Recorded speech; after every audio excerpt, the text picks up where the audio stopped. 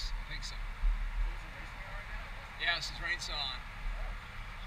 The next uh, 30 minutes.